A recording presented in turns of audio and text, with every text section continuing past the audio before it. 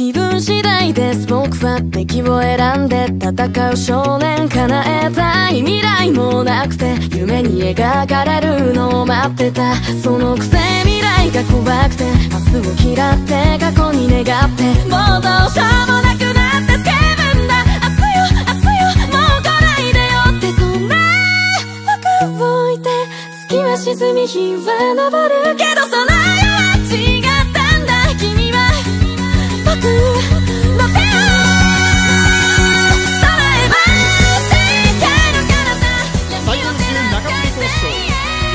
ホールドポイントで初優勝阪神タイガース桑原健太郎投手。